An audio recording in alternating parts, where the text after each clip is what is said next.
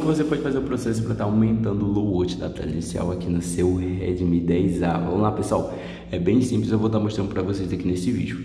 Primeiramente você vai estar tá segurando aqui no seu Redmi 10A e vai estar acessando as configurações.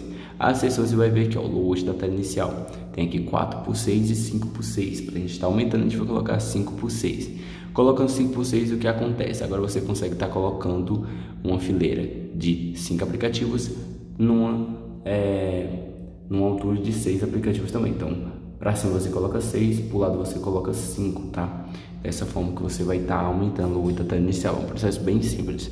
E para estar tá diminuindo é o mesmo processo, tá? Não muda nada.